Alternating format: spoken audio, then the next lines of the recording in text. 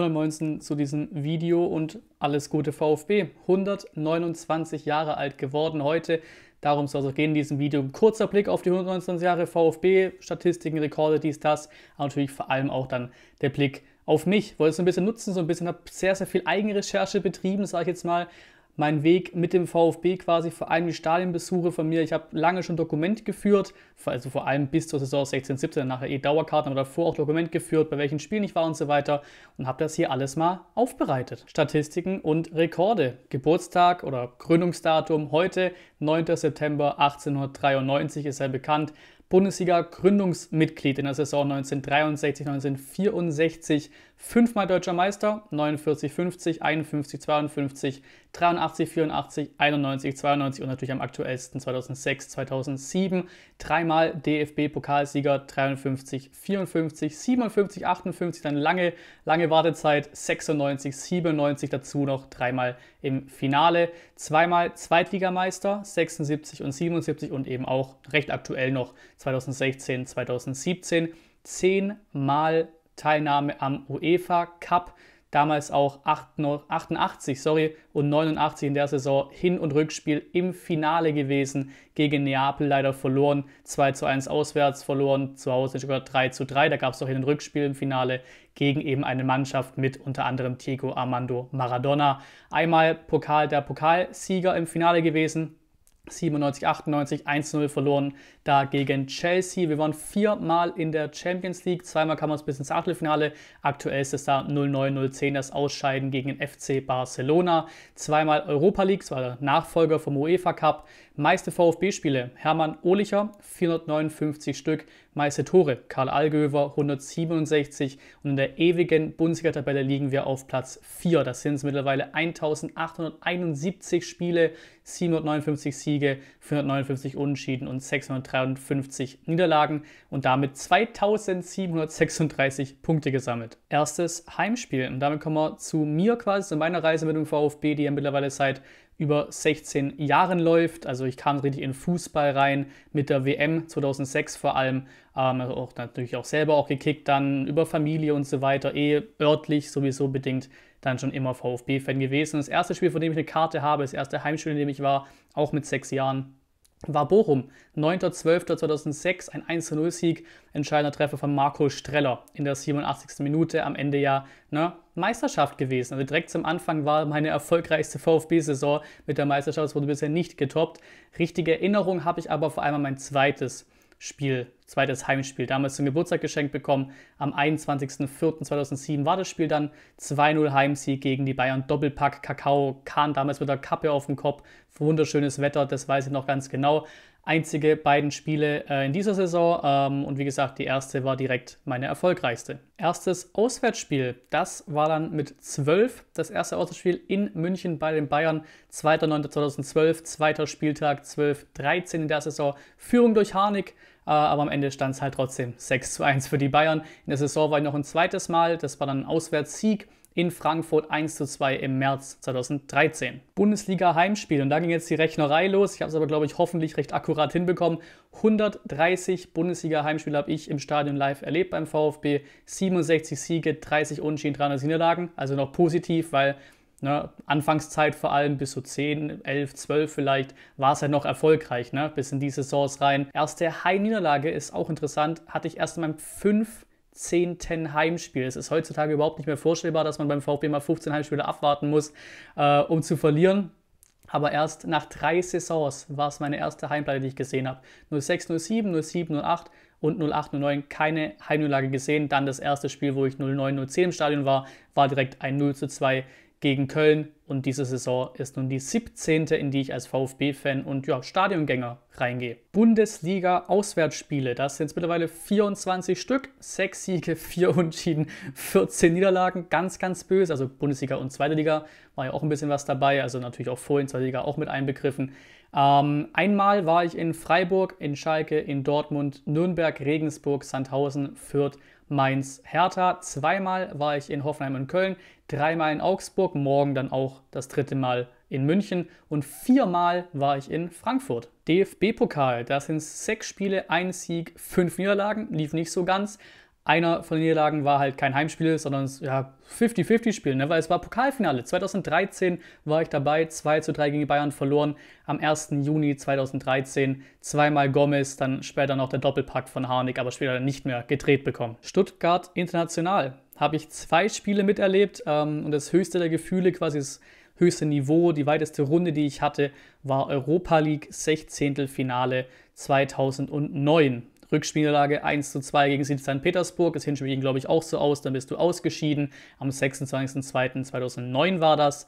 Ähm, und das letzte Mal, dass der VfB international aufgetreten ist, war ich auch dabei. Das war das Rückspiel, das Heimspiel in der Europa League Qualifikation 2013 gegen HNK Rijeka, wo es am Ende ein 2 zu 2 Dadurch bist du ausgeschieden, weil das Hinspiel ein 2 zu 1 für Rijeka war. Meine 16 Jahre VfB in Sachen Stadion natürlich alle VfB-Spiele im Stadion zusammengerechnet sind es 167 Stück. 74 Siege, 36 Unentschieden, 57 Niederlagen und nur Bundesliga- und Zweite Ligaspiele zusammen sind 154 Spiele, 73 Siege. Also es kam durch die Extraspiele, also Pokal und so weiter, Testspiele, kam nur ein Sieg dazu. Das war das Pokal-Halbfinale 2013 gegen Freiburg, wodurch wir ins Finale gekommen sind, gegen die Bayern, wo ich auch im Stadion war. 34 Unentschieden dazu noch und 47 Niederlagen. Besondere Spiele. Hier würde ich gerne die Tickets zeigen jeweils. Ich habe den ganzen Scheiß ja aufgehoben, aus Meister aufgehoben. Die liegen nur alle leider in Ansbach oder sind irgendwo aufgehangen und sowas in Ansbach. Ich bin ja gerade zu Hause, habe ich hier leider nicht dabei. Schlechtes Timing. Ähm, trotzdem habe ich meine ganzen Spiele durchgeschaut, die ich hier in meinem Dokument drin habe. Natürlich ist da noch viel mehr wahrscheinlich, wenn ich länger drüber nachdenke, länger in Spiele reingehe. Aber so auf den ersten Blick was mir so vor allem aufgefallen ist an besonderen Spielen, gehen wir hier mal durch. Zuerst auch hier die Heimspiele, da wäre der Heimsieg in die Bayern 06 07, ist ja sowieso, ist ja klar, was richtig Besonderes. Eröffnungsspiel als Meister war auch cool, 07 und 8 gegen Schalke war das. Zweimal Hamburg haben wir hier in der Auflistung noch dabei. Da habe ich einmal den wahnsinnigen, den wahnsinnig lauten Jubel, vor allem hat sich extrem eingeprägt bei mir irgendwie.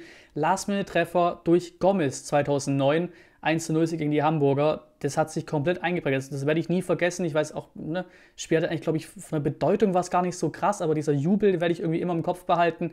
Dazu natürlich 14-15, überlebenswichtiger Sieg. Die Woche darauf hast du ja in Paderborn äh, den Klassenhalt gesichert. Ähm, auch cool, Stadioneröffnung war ich dabei von der Mercedes-Benz Arena, als umgebaut wurde. 3-0 Heimsieg gegen Schalke, das war 2011, schiebe ich hier mal noch rein. Sonst jetzt, jetzt geht es chronologisch weiter. 16-17, auch einiges Geiles dabei gewesen. Auch wenn es eine Zweitliga-Saison war, 3-3 Last Minute gegen Dresden, die Stimmung und alles, das war verrückt. Derby-Sieg war auch eine sehr geile Stimmung. Dieses Wir steigen auf und ihr steigt ab hat natürlich auch eine richtig geile Dramatik reingebracht. Ähm, 2-0-Sieg hatte auch früher schon, auch 2008 und so habe ich auch Derby-Siege erlebt. Es war oftmals ein 3-1 zu Hause gegen KSC. Natürlich Aufstiegsspiel, 4-1 gegen Würzburg mit Platzsturm und so weiter, alle in weiß, geiles Wetter, brutal. Dann Aufstiegssaison 17-18, der Akolo-Treffer gegen Köln, Last Minute war auch brutal wichtig und brutal geil. Ähm, der Heimsieg gegen BVB in derselben Saison, im selben Jahr noch, unter Wolf 2 zu 1 Sieg, auch ein richtig schönes Ding gewesen. Relegation nehme ich auch mal mit rein, weil es war was, es war was Besonderes, mit natürlich leider einem beschissenen Ende, aber von der Saison her, die Stimmung im Hinspiel war irgendwie auch was ganz Besonderes, so, deswegen nehme ich es mit rein. 1920, dann natürlich auch speziell gewesen, nicht viele Heimspiele, dann kam ja Corona, aber deswegen nehme ich das auch hier mit rein. Bielefeld, 1 zu 1 gegen Bielefeld. Das war das letzte Spiel in der Bundesliga, in der zweiten Liga generell äh, vor Corona. War, glaube ich, auch Montagabendspiel. Wir hatten wirklich das letzte Spiel, bevor dann eben die lange Corona-Pause war, auch in Sachen Stadion natürlich. Dann wieder zurück gewesen. Wieder Vollauslastung war möglich. Es war, glaube ich, nur 35.000 drin oder sowas. Aber natürlich letzter Oktober, Last-Minute-Treffer durch Fahrer gegen Union war extrem geil. Ähm, letzte Saison natürlich auch noch ein paar weitere geile Sachen dabei gewesen. Dann natürlich auch wieder, als die Vollauslastung möglich war. Gladbach war es noch nicht, da waren es noch 25.000, aber dieses 3-2 gedreht nach dieser ewig langen Durststrecke. Ne? So viele Spiele, wo du eigentlich wirklich hättest was mitnehmen müssen, du nichts mitgenommen hast und dann dieses 3-2 gedreht war wunderschön. Augsburg dann natürlich, es war das erste Mal seit Corona wieder Vollauslastung möglich, es war auch ausverkauft, da ist eine kleine Choreo-Stimmung, drehst auf 3-2 gegen direkten Konkurrenten, Wahnsinn gewesen. Muss ich natürlich generell sagen, es fängt hier vor allem so ab ja, 17, 18 an, dass ich mal ein paar mehr Spiele nennen, weil einfach ne, von 2009, 2008, wie gesagt, da müsste ich noch tiefer reingehen, um zu überlegen, war das Spiel wirklich so richtig krass? Aber die Erinnerung ist einfach natürlich aktueller an die aktuellen Spiele und natürlich klare Geschichte, Köln. 2 zu 1 gegen Köln, Wataru Endo, Klassenerhalt. das unfassbarste Heimspiel, das ich jemals erlebt habe. Das wird auch lange dauern, bis sowas jemals wieder zu toppen ist, von der Stimmung her, von der Dramaturgie her. Ja, legendär, Jahrhundertspiel. Auch wenn es über, übertrieben finden, aber für mich ist es einfach eins. Auswärts machen wir weiter, 2 zu 3 Nürnberg. Florian Klein, das war damals richtig geil. Es war quasi der Aufstieg damals, 16, 17, 2 zu 0 gedreht. Auch hier ist eine dicke Pleite, aber es war was Besonderes. 6-0 in Augsburg verloren in der Abstiegssaison 18-19 mit Galgenhumor und alles. Es war einfach ein ganz wildes Ding.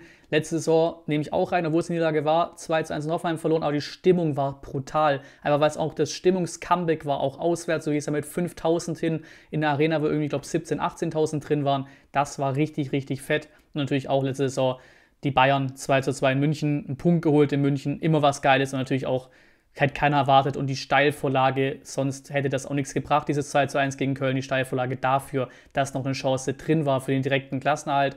Pokal, natürlich der einzige Sieg, den ich gesehen habe, vorhin schon angesprochen, Freiburg Halbfinale, Choreo, geile Stimmung, ins Finale gekommen, so was willst du mehr? Und natürlich Pokalfinale 2013, brauche ich nicht viel zu sagen, Pokalfinale zu erleben ist Wahnsinn, mal gucken, ob ich sehen, was nochmal tun werde.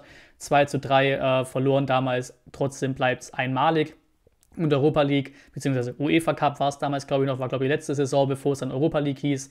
Wie gesagt, Zenit Petersburg muss dabei sein, weil es ist das Höchste, was ich international erlebt habe. Sammlung hat sie natürlich einiges angesammelt an Trikots, Schals und so weiter. Mein erstes Trikot ist hier immer im Hintergrund aktuell.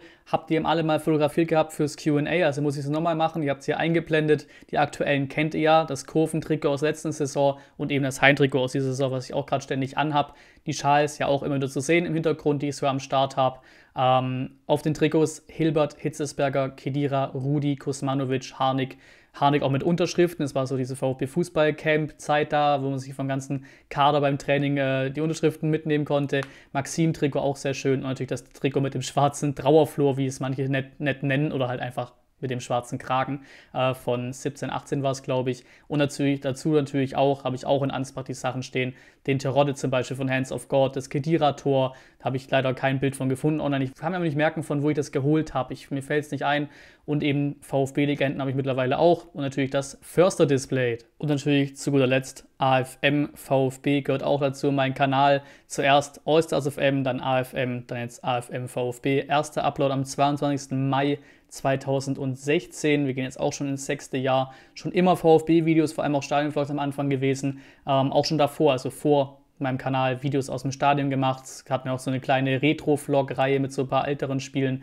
Ähm, auch Pokalfinale habe ich, glaube ein Video zu gemacht. Ich weiß nicht, ob, ob, das noch online ist. Sind mittlerweile über 650 Videos, die aktuell auf dem Kanal online sind, weil VfB Trail zum Beispiel, ich glaube irgendwie auch so 60 Stück rum ähm, und andere Geschichten, auch Copyright-Geschichten und so weiter, sind ja mittlerweile privat oder gelöscht, ne? Klare Geschichte. Und wo wir es natürlich gerade hier von Stadion besuchen haben, Stadion-Vlogs, Riesenthema auf dem Kanal, ganz klare Geschichte, sind wir mittlerweile auch bei über 100 Stadion-Vlogs auf diesem Kanal, die online sind. Komplett wild. Natürlich die Livestreams, Vorberichte, Nachberichte früher, Match-Reactions, Podcasts, generell Videos en masse, auch mit Gästen und so weiter. Ihr wisst ja, was hier alles so passiert. Nun kurz vor den 5000 Abonnenten ist wirklich nicht mehr viel. Eine sehr wilde Reise. Vielen Dank an jeden, der, egal wie lange dabei ist, natürlich auch an die, die schon sehr lange dabei sind. Vielen Dank dafür. Ganz wilde Reise. Lasst mir gerne eure Reise da mit dem VfB in den Kommentaren da lassen, was ihr so erlebt habt, was so eure besonderen Spiele waren und so weiter zum Beispiel. Irgendwas da lassen zu den 129 Jahren zum Geburtstag vom VfB. Mir könnt ihr gerne ein kostenloses Abo da lassen, wenn euch das gefällt, was wir auf dem Kanal machen. Danke fürs Zuschauen und bis zum nächsten Mal.